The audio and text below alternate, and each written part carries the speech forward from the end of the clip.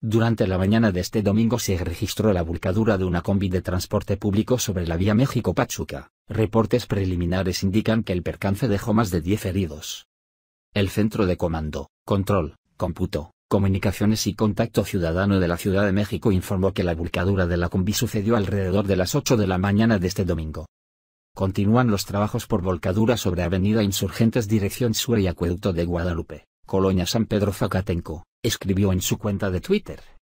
Asimismo, la Cruz Roja Mexicana señaló que realizó trabajos de atención en el sitio del accidente.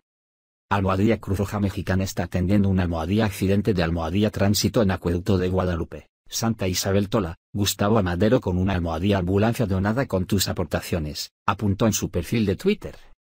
Por el momento se desconoce la causa del accidente, asimismo, reportes preliminares indican que el percance dejó al menos 15 personas heridas.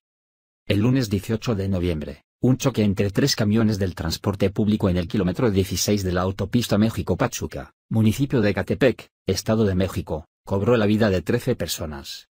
De acuerdo con algunas fuentes, el choque ocurrió alrededor de las 20 horas en la parada de transporte público El Gallito, del municipio mexiquense.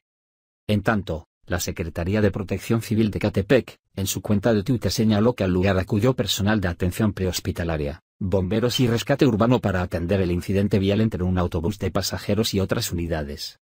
También en su cuenta de Twitter, la Cruz Roja del Estado de México reportó que el accidente ocurrió en el kilómetro 16 de dicha autopista, y que en apoyo respondieron las delegaciones de Cruz Roja Tecamac, Teotihuacán, Ecatepec y Lázaro Cárdenas con siete ambulancias, además de que fueron trasladados a distintos hospitales mexiquenses y capitalinos once lesionados.